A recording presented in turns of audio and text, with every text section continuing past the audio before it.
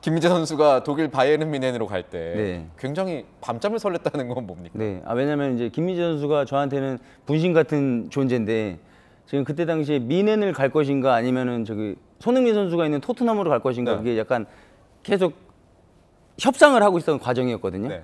그러다가 어디로 갈지 저도 궁금해가지고 계속 지켜보고 있었습니다. 아, 아, 간거 마음에 드십니까 이번에? 예, 충분히 마음에 들고 마음에 들고 있습니다. 충분히 그만큼의 보상을 받아가지고 간 것 같아서 대리만족을 하고 있습니다. 아 그렇군요. 예. 김민재 선수 얘기는 여기까지 하고 예. 아이스 브레이킹이었습니다. 네.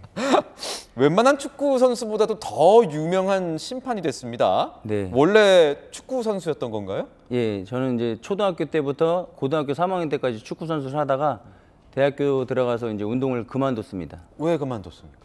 국가대표가 되기 위해서 정말 죽기 살기로 노력을 했는데 한계가 있다는 걸 딱 느껴서 대학교 1학년 때 이제 운동을 그만두게 된 겁니다.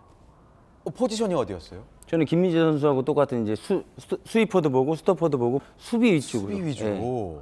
아 그럼 그 당시에 동시대에 같이 뛰었던 어, 유명한 선수들은 누가 있습니까? 아, 제가 1년 선배로는 이동국 선수.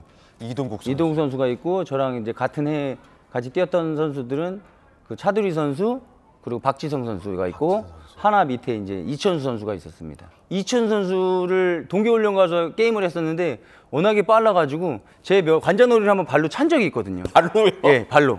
공을 차는 척하면서 발로 해서 제가 쓰러진 적이 있거든요. 아 공을 차는 게 아니라 공을 예, 차는 공을 척하면서. 하면서 제 머리를 쳐가지고 제가 기절해서 실려 나간 적이 있는데 그래서 제가 이제 보복행위를 하려고 너는 내가 내가 너를 한번 다치게 만들어야겠다 해가지고 따라다니는데 워낙에 빨라가지고 쫓아다닐 수가 없습니다. 너무 날쌘 돌이죠. 예, 그러니까 그런 유명한 선수가 되지 않았나, 훌륭한 선수가 되지 않았나라고 생각합니다. 와 차두리 선수도 뭐 예, 차미네이터. 차미네이터. 예, 힘이 엄청 좋습니다. 아니 근데 예. 진짜 좋으시거든요 체격이. 아, 차두리 선수 못 막습니까? 막을 수, 수 있을 것 같은데. 아 그때 당시에는 제가 좀 호리호리했어요. 지금 약간 살이 붙어가지고 좀 네. 몸집이 커졌는데 그때는 호리호리해가지고 차두리 선수 맞기에는 좀 역부족이었습니다. 아, 그렇군요. 예.